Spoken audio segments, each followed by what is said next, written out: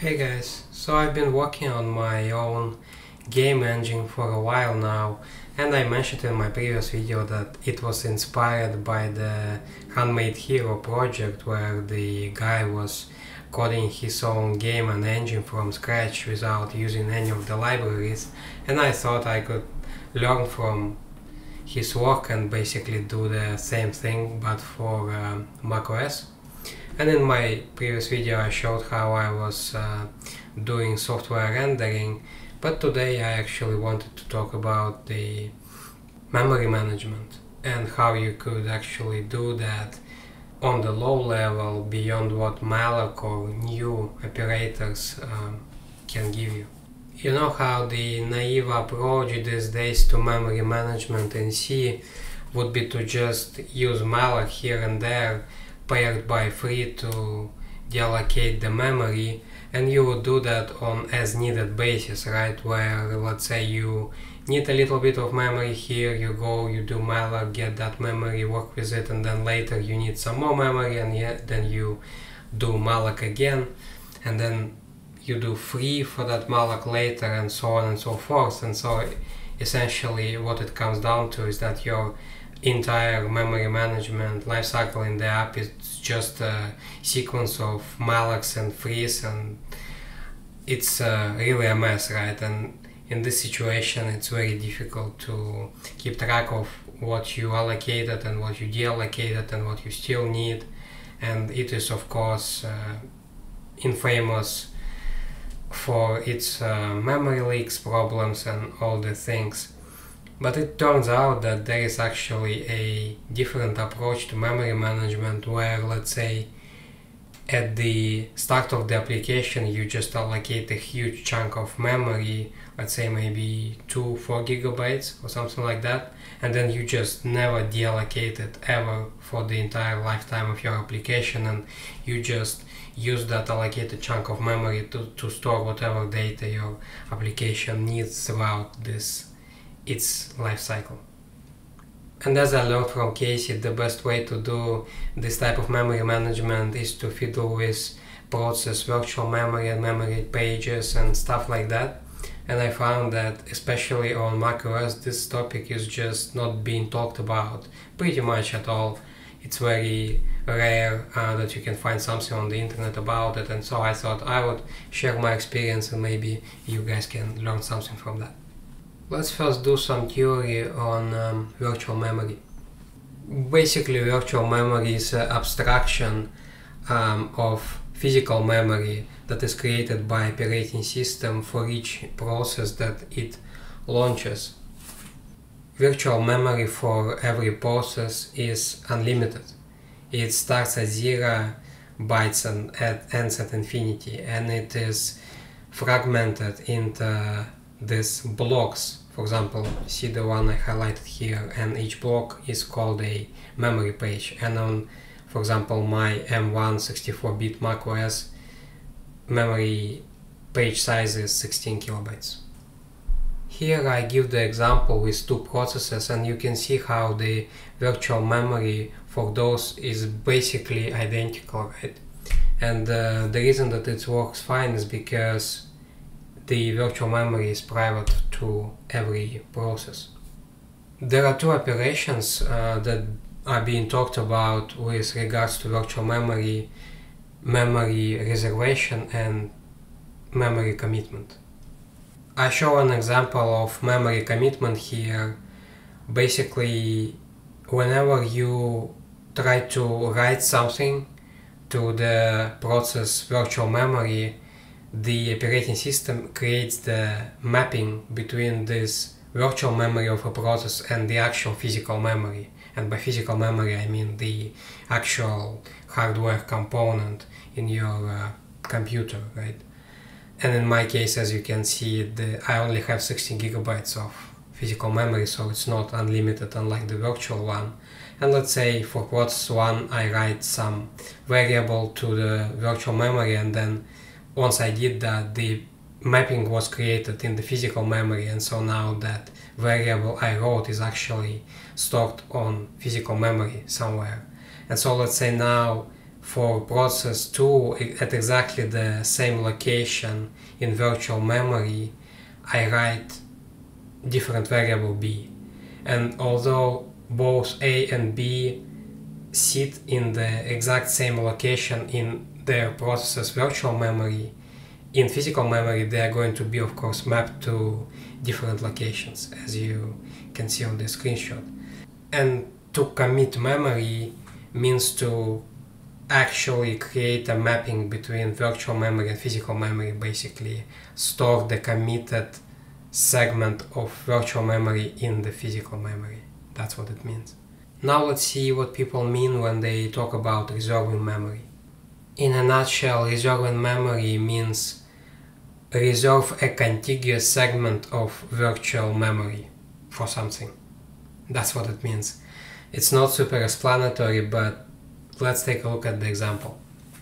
Imagine that you need to have dynamically sized array to store some elements and you don't know how many elements that array can store so that's why you need the array to be dynamically sized.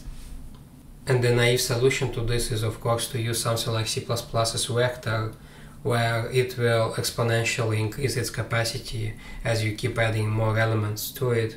And this is of course terribly inefficient because every time it increases its capacity, there is a chance that it might need to copy its entire context to a different location in memory to accommodate the increased um, size. The most efficient solution to this dynamically sized array is by using the process virtual memory where let's say you reserve the area in memory absurdly large so that it can fit as many elements in your array as it can possibly have. So for example, in this situation here, I allocated, sorry, reserved 10 gigabytes of virtual memory for my dynamically sized array. And of course, I already know that this array can never hold more elements than 10 gigabytes can contain, right? So that's absolutely safe to allocate. Notice that reserving memory has nothing to do with physical memory. I reserved memory purely in virtual space and physical memory was not affected by this in any way. The core thing to understand about uh, memory reservation is that these 10 gigabytes of memory that I just reserved, they are contiguous. This means that if I do any other memory reservations in the future, they will never be placed in this 10 gigabyte memory span that I previously reserved, right? So that's the entire point of this. And so what that gives me is that every time I add more elements to my array, they will be stored in memory contiguously, one after another, after another, and so on.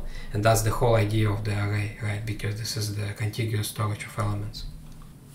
And the only thing I need to do now is that every time I add a new element to the array, I need to commit that memory that holds this element and that will ensure that this element is actually going to get propagated to physical memory and be stored there as you can see on this diagram this yellow highlighted area is basically the part of the array that actually populated with elements and that's the only part that's been stored, stored in physical memory. I actually really like this example. I think this is really cool, elegant implementation of this dynamically sized array. It's really cool. So let's now see how to implement this dynamically sized array example in code. As you can see here, I'm trying to uh, reserve the 4 gigabytes worth of memory for my application to use and I can use that with this mmap um, system call on macOS. And the parameters uh, we pass here the first one is the base address in the virtual memory where we should start allocating from. Then second is the how many bytes we want to allocate. Then next what are the um, access to this region. In my case, I want to do both read and write. And then next is the flags that say that the shared memory when committed to physical memory should be visible by other processes and this map anon flag is basically tells that we are allocating memory and not trying to map the some sort of a file to memory because mmap can be used for both um, mapping contents of some file to memory or for just memory allocation right? So in our case we just want to do memory allocation so that's why we do map anon. And then the next thing is the file descriptor to map to memory and again we are not dealing with files so we're just passing minus one. And then the last parameter um, I forgot but it's basically always zero let's now fire a debugger and um, see what's going on. Okay so I have breakpoint on this mmap thing. Now I run through and let's see. So what does this game memory now points to? And as you can see there is the permanent storage right which is uh, pointer to the memory region I allocated and you see the value here. It's uh, some valid positive number. It's a memory address in virtual memory right where the memory was resolved. So it means everything went well. But let's now take a look at how much memory the process is now using so for this we can do we can use this vmmap um, tool on macOS but first we need to find out what is the process ID in my case it's this one and when we call that we can see our allocation. It's um, a little bit intense output but that's what we need right? So we can see this VM allocate this is what's actually been reserved right? In our case we tried to allocate 4 gigabytes and that's exactly what we got here. We can see that. Another interesting fact is that remember I said that allocated memory doesn't really have anything to do with physical memory at all. So if we let's say look at the activity monitor for um, for this process then we can see that it's right now it's only using about 8.8 megabytes of physical memory right? And so this four gigabytes of reserved memory, they don't show up here with, that's, that's great. So now let's say what we're going to do here um, is to actually ensure that some of this 4 gigabytes that we just reserved actually get committed to physical memory. And so remember how I said that in uh, macOS and in Linux, I believe as well, to commit the reserved memory, you need to write to it. So in this case, I created this um, loop here that will um, write to one gigabyte of the memory that we just reserved. Basically, it's just going to set every byte um, to 2. So let's go back to our debugger and um, run through this loop. And maybe we need to set um, breakpoint after the loop as well.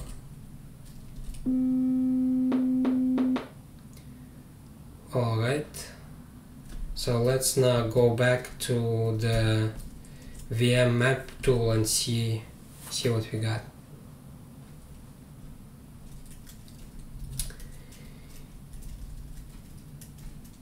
And as you can see here now, the VM allocator reserved, it was previously 4 gigabytes, now it dropped to 3, right? And VM allocate got increased to 1 gigabyte. And so we can see clearly that VM allocated actually shows committed memory of a process. So how much of reserved memory got actually committed to physical memory, that's one gigabyte, right? And we still have three gigabytes reserved. So let's now go and take a look at the activity monitor for our process here. And as you can see, it says one gigabyte here. So in fact, yes, it confirms that we actually committed this one gigabyte. So that's it, hopefully you learned something here. I actually wrote a blog post about this on my Substack, so if you want to support the channel, please consider subscribing to me there. Link is going to be in the description below.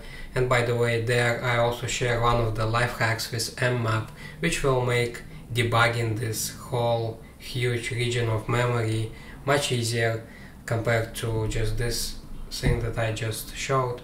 So if you're interested in that, please consider subscribing to me there. That will really help the channel. Thanks a lot and I'll see you next time.